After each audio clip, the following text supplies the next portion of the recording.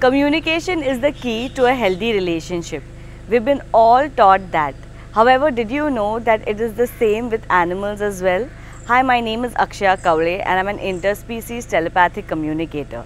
Just a few days ago, I spoke to a dog who had a lot of aggression issues. He would bite, snap, and he would do it particularly with one member of the family, so much so that the member thought that the dog absolutely hates him and was really upset about it. While having a conversation with the dog, the dog explained that this dog and the member of the family who he would snap at have a connection, have a soul connection, and they have always been together as a mentor and a mentee.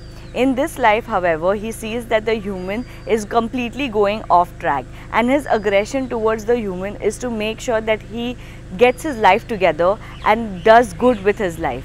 As soon as this message was communicated to the human, he was very happy to know that the uh, dog actually loves him and whatever suggestions the dog had given, the human started incorporating it. The entire family started incorporating the suggestions like being calm. He advised the human to take up uh, art as a hobby and an activity and uh, to make sure that he develops that uh, passion of his and within a week's time when I got back to the human uh, to ask how the uh, dog was doing she said that there is a huge change in the uh, dog. He has stopped growling at the human in fact greets him happily and even nudges him to take him for a walk.